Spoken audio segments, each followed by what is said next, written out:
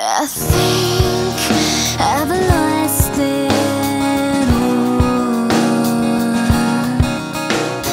Dry, unpleasantness has settled into my soul, and this constant reality keeps dragging on and on and on, and everything.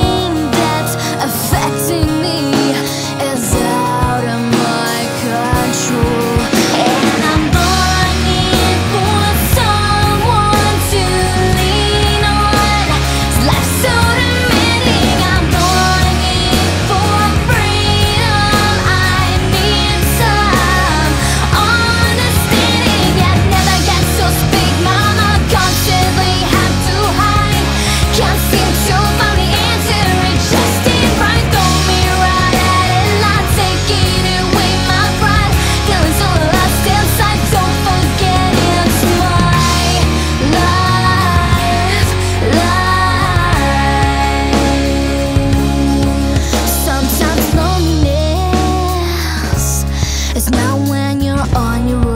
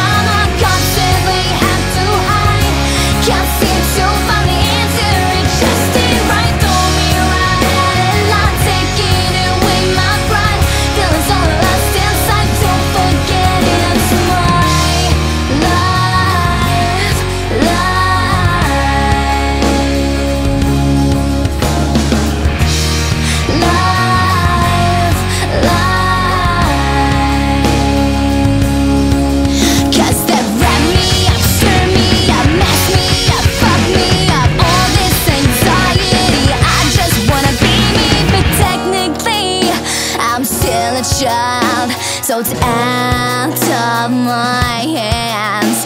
But really, I'm just a girl.